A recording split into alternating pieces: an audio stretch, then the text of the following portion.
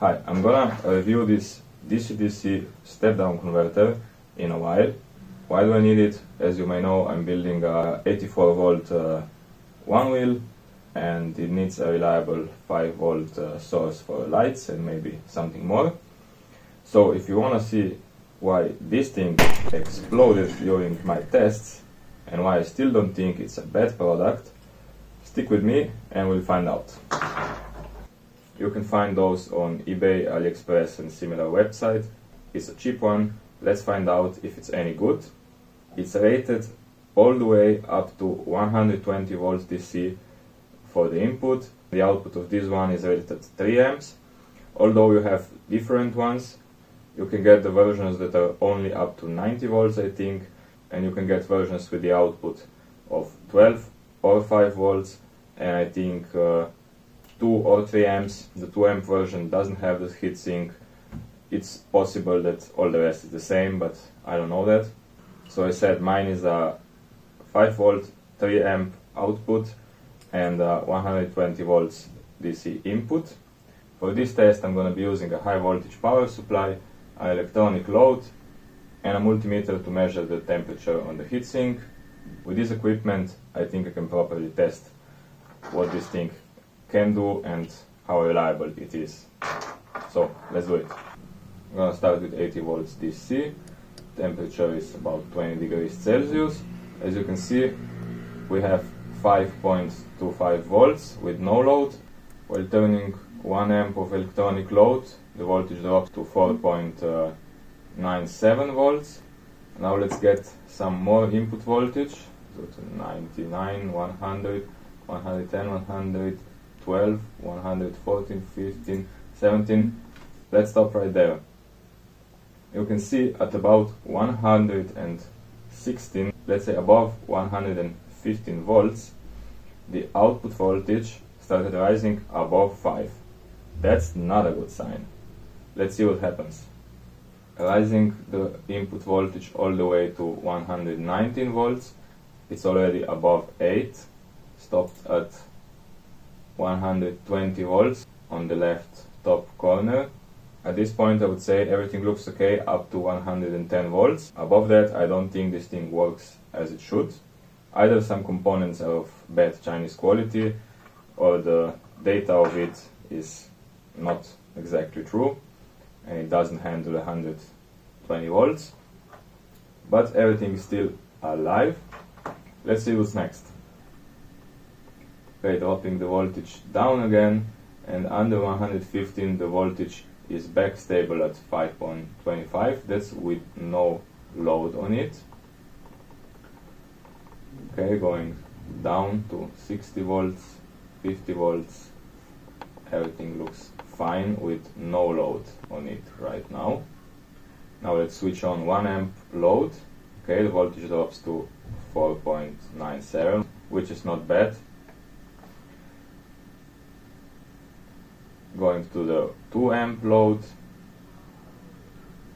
The voltage drops a little bit to 4.87 but it's stable.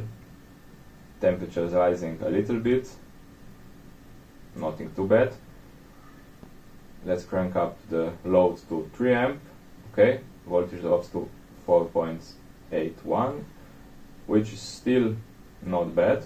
At least it's stable and the temperature is rising quite quickly. Now with the 3 amp load on, I'm gonna go higher with the input voltage, 80, 90, 100, 110. We already know from before that above 110 the output can go above 5 volts. 120, oh and that's where I made a mistake and I went all the way to 130 volts input voltage. Let's see what happens. The output goes all the way to 51 volts, which is not a good sign. Just 10 volts above 120, which was not planned. I mistakenly raised it all the way to 130. At this point I lowered the input voltage because I've seen my mistake. But what happens is on the load you can see the output voltage is not going down that's a sign that something's not working properly anymore. With the voltage staying above 30 volts, the output capacitor can't handle that anymore, and that's where it exploded.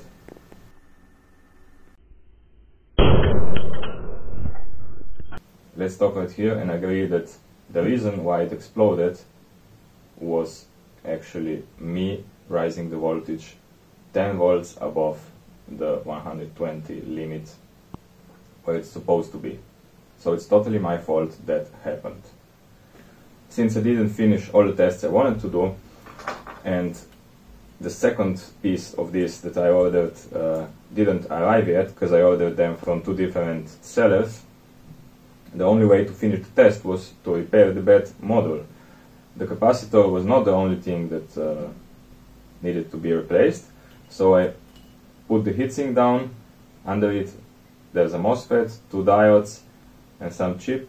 Measured the MOSFET, it was broken and uh, since the diodes were glued to the heatsink very well while I was pulling the heatsink down I damaged both of the diodes and also a little bit of the PCB.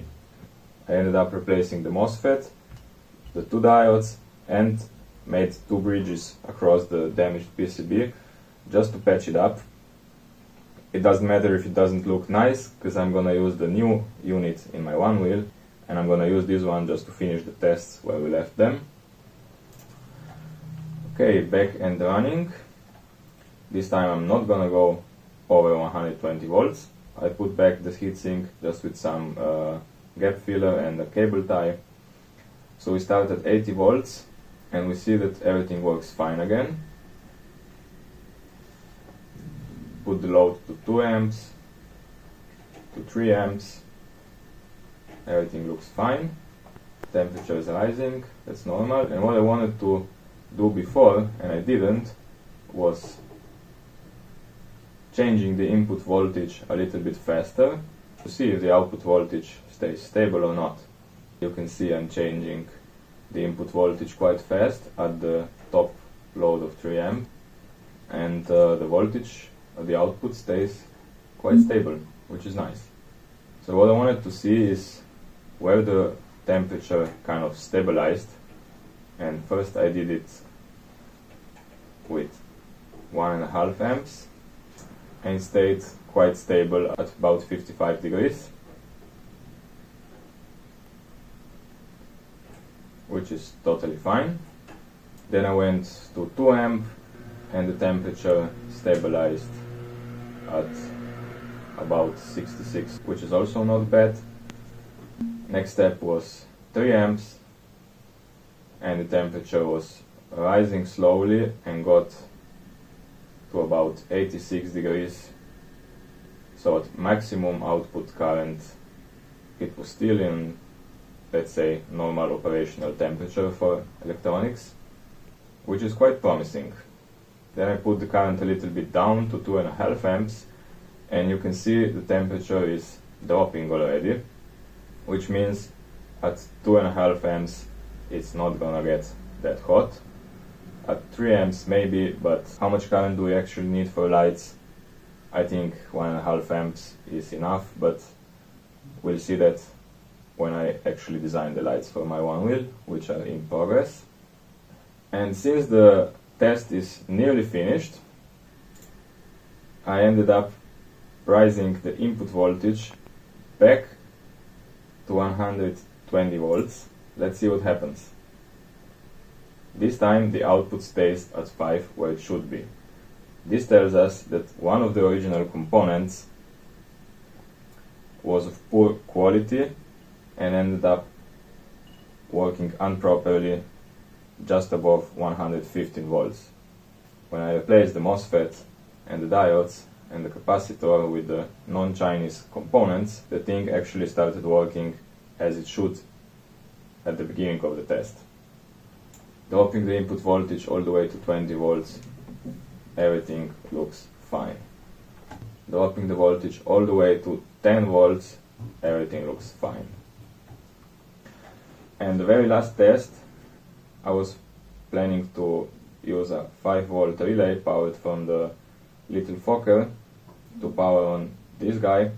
So let's see if the inrush current makes any sparks while connecting this thing to the power source.